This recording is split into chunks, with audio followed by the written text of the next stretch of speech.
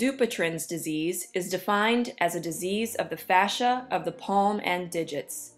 Although this condition is idiopathic, it most often impacts individuals of Northern European descent and is seen in association with other conditions such as diabetes mellitus, hypothyroidism, HIV, and smoking.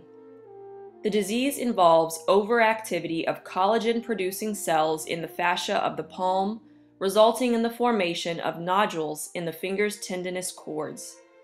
Dupuytren's predominantly affects fingers on the ulnar side of the hand. Many individuals choose non-operative treatments, such as splints, but these have not been proven effective. Surgery, although not required, is recommended once the contractures affect function. Surgery is indicated once the metacarpophalangeal joints are contracted in flexion of 30 degrees or more.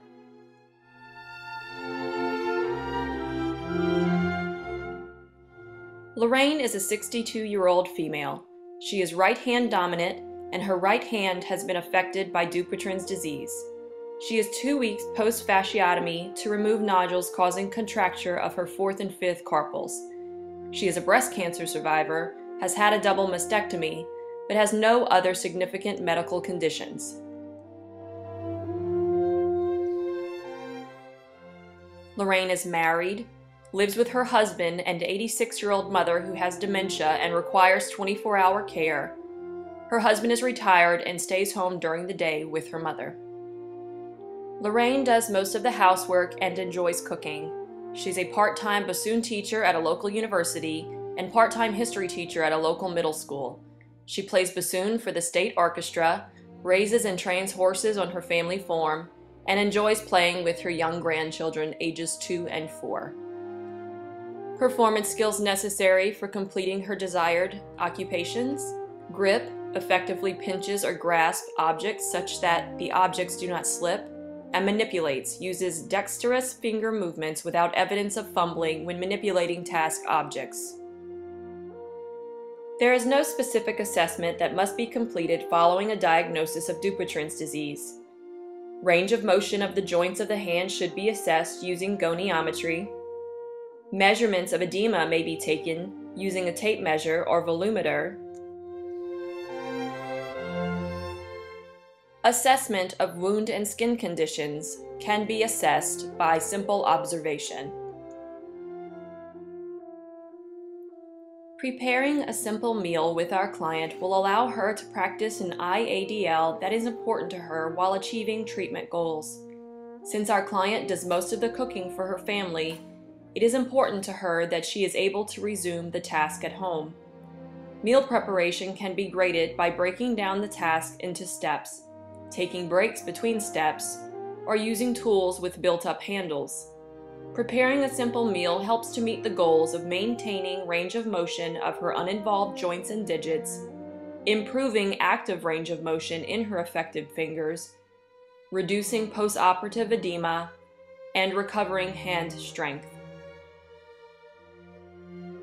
Some postoperative precautions for therapy might include intraoperative complications involving the neurovascular bundles, concomitant surgical procedures, skin grafts, and excessive tissue tension. Some postoperative complications might include hematoma, edema, skin necrosis, infection, stiffness, pain, complex regional pain syndrome, and recurrence of the disease.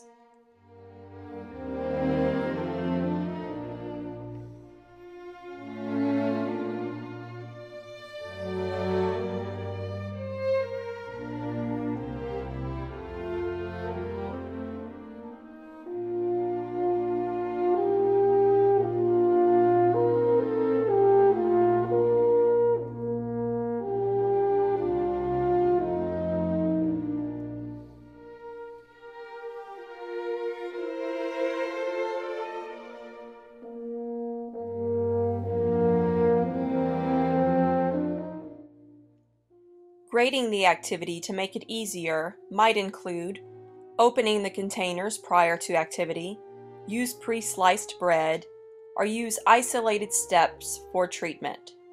Grading the activity to make it more difficult might include do not use Dycem on surfaces, do not use Dycem to open jars, use bilateral twisting techniques to open jars, do not use built-up handles on utensils.